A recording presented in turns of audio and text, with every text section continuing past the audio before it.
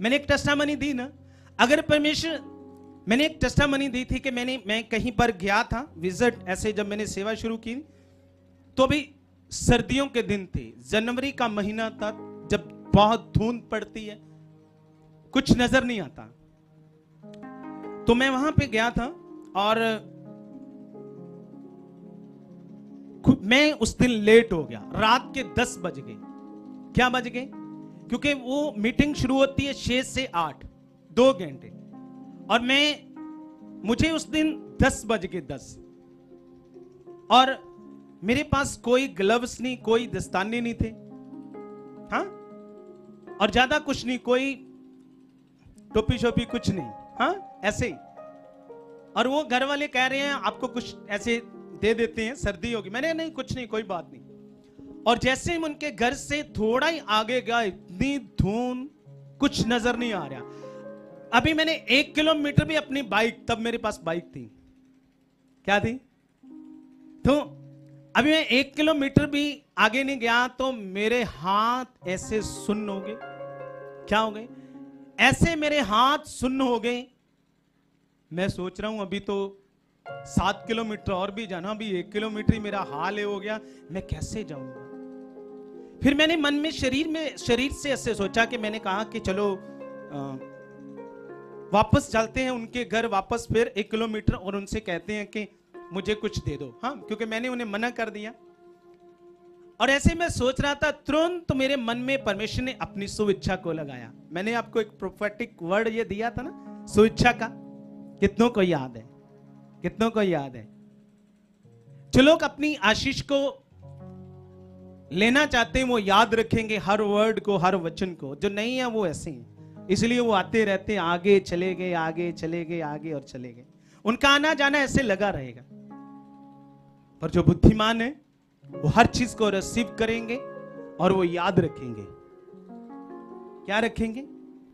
वो रिसीव करेंगे और याद रखेंगे कि हाँ मेरी आशीष के लिए, परमेश्वर ने ये प्रोफेटिक वर्ड दिया था मुझे वचन। कि वो अपनी शुभ इच्छा को, नेक काम के आराध्य को क्या करता है?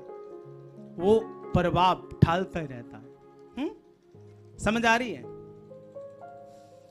तो जैसे परमेश्वर ने अपनी सुविच्छा को डाला, मेरे मन में मैंने तुरंत परमेश्वर ने कहा कि मैं तेरे साथ हूँ। भाई, तू मुझे क्यों नहीं याद करता? तो क्यों अपनी बुद्धि लगा रहा है? मुझे बोल, देख, मैं काम करता हूँ। आपको पता है कि ऐसे अगर आप करोगे, आपका परमेश्वर कितनी दूर है? एक बार दाऊद सोचता था कि परमेश्वर काश में कौन जाएगा? हा? काश मतलब स्वर्ग।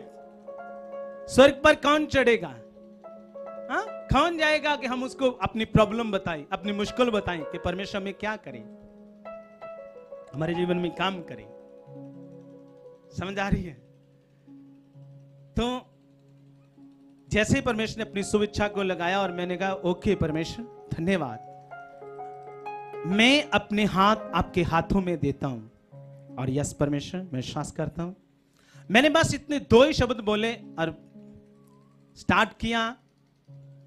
क्या किया? अपनी बाइक स्टार्ट किया और आठ किलोमीटर सफ़र जब मैं उस सफ़र करके अपने घर गया और जैसे ही मैं घर गया और मैंने अपनी पत्नी के ऐसे उनके हाथ ऐसे लगाया, मैंने कहा, देखो, मेरे हाथ ठंडे हैं गर्म। ये कहते, बहुत गर्म है।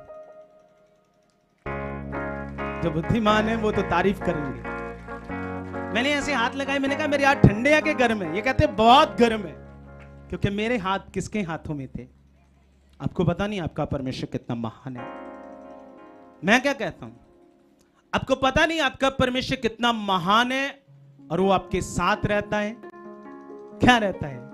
पर जो शरीर में उन्हें क्या पता वैसे? हाँ? वो तो रोते रहते हाय प्रभु, वो रोते रहते साठी को तो सुनेगा। वो रोते रहते सारी उम्र। उनको पता नहीं कि परमेश्वर हमारे साथ रहता है। अभी वर्शिप सॉन्ग आपने सुना ना? ना डर, ना घबरा वो क्या है तेरे? साथ है। कितनों को सांस है कि वो मेरे साथ है? ऑनलाइन ऑनलाइन कितनों को विश्वास है कि वो हमारे साथ है? कितनों को विश्वास है कि हमारे साथ है? इसलिए आज से हर चीज़ के लिए परमेश्वर को याद करना और वो आपके जीवन में काम करेगा।